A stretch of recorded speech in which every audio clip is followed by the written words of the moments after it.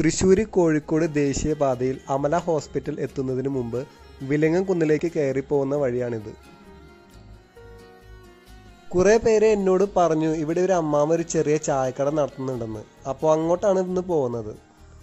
ദേ ഈ കാണുന്നതാണ് കേട്ടാ അമ്മാമ്മയുടെ ചായക്കട. കണ്ടില്ലേ?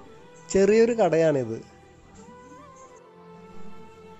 പണ്ടത്തെ രീതിയിലുള്ള ചെറിയൊരു നാടൻ ചായക്കട. ഒരുപാട് വിഭവങ്ങളൊന്നും അവിടെ ഇല്ല.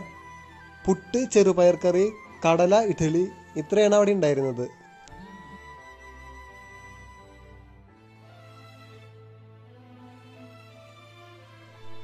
ഈ ചട്നി കണ്ടില്ലേ?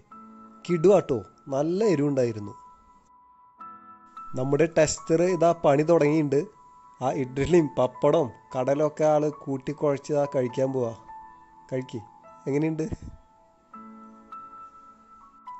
ഈ പുട്ട് ഇങ്ങനെ പൊടിച്ച് ആ പപ്പടം ഒന്ന് തകർത്ത് ആ ചെറുപയറും കൂട്ടി ഒരു പിടി പിടിച്ചപ്പോഴേ ആഹാ അന്തസ് ഈ അമ്മാമ്മ തനിച്ചാണ് കേട്ടോ ഇവിടുത്തെ എല്ലാ പണികളും ചെയ്യുന്നത്. ഈ ചായ കണ്ടില്ലേ? സൂപ്പർ ചായയായിരുന്നു. ആ വിറകടുപ്പിൽ ആ മൺകലത്തിൽ വെച്ച ചെറുപയർക്കാരുടെ ആ രുചിയുണ്ടല്ലോ.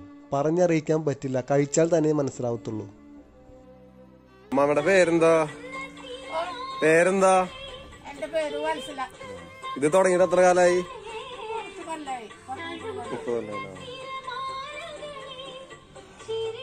അപ്പോൾ വത്സല അമ്മാമ്മ ഈ കട തുടങ്ങിയിട്ട് മുപ്പത് വർഷമായി. എന്തെങ്കിലും ഈ വഴി പോകുന്നുണ്ടെങ്കിൽ നിങ്ങളും ഒന്ന് കയറി നോക്കണം. കൂടുതൽ വീഡിയോസിനായി നമ്മുടെ YouTube and Facebook page N R fooding ഒന്ന് ലൈക്ക് ചെയ്യണേ.